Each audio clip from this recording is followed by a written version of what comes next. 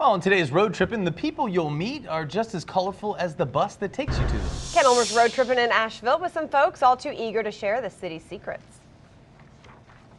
This is a funny purple bus. We're at the LaZoom Comedy Bus Tours in downtown Asheville with Miss Augusta Wind, one of the tour guides. Ah, it is yes. very nice to meet you. Oh, I'm just, look, I'm touching a TV man's hand. Isn't that exciting? Look at that right my- there. oh, my goodness. okay. George Vanderbilt decided to build more, build more, and built more and more and more on to build more. The guy wouldn't stop. Tell me about some of the fascinating facts that people will learn on your bus. Let me tell you this. There's this. There's these faces that go around the uh, Grove Arcade. You got to see those to believe it. You have to get on the bus. Yeah. But there's also these things that stick out from the Jackson Building. Ever wondered why the Jackson Building was super boring until you got to the top, and then it kind of looks like one of them Gremlin dolls with the hair that goes goes. "Ah!" Yeah. Yeah, that's on purpose. Yes. You also share some colorful characters like a nun on a bus.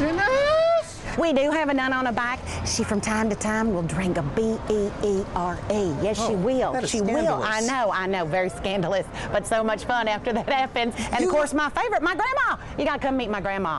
Gotta come meet my grandma, if you know what I'm saying. Oh my Yeah. goodness. You have assembled the most colorful characters in Asheville in one place. Yeah, we just put them all right here, put them on wheels. We're showing them off to everybody. There's also a haunted tour. We got Mr. Thomas Wolfman, and we got old Ghoulish Gary, and then we got little Hell in a Handbasket. And they're just dying to get a little naughty with you and tell you about the darker side of Asheville. Also, very odd. Yes, indeed. People falling asleep on sisters' couches and then hiding in bushes and Fletcher. Craziness. It is living history in downtown Asheville. That's me. The LaZoom Comedy Bus Tours. Find out more from the Road Tripping link at WLOS.com. Road Tripping in downtown Asheville. I'm Ken Ulmer.